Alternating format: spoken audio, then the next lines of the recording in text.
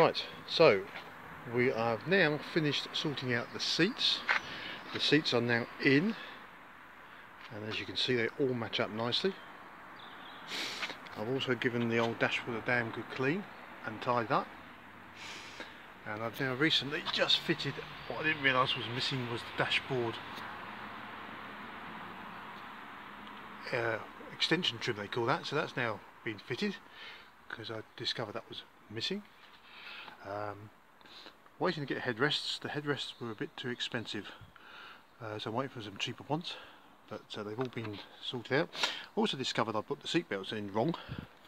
So now I've got those in. They look a bit better. I've also tarted up the uh, the switches so that the white bit sort of sticks up a bit better. And uh, we're, we're, almost there with the inside. So the next job now is to start concentrating on the outside which will be the rust spots I've got a couple of rust spots. I've replaced replaced the splash seals at the back because they all rotted away. Um, and then we just got to really concentrate on the paintwork now. Such things as where it's cracked. And where unfortunately it wasn't a very good job done around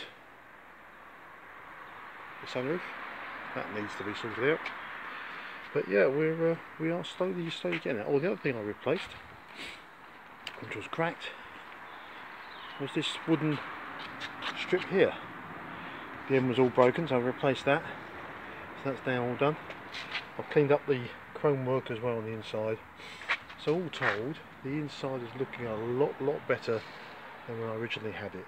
Just a few little bits and pieces to top it off, but other than that, we're done.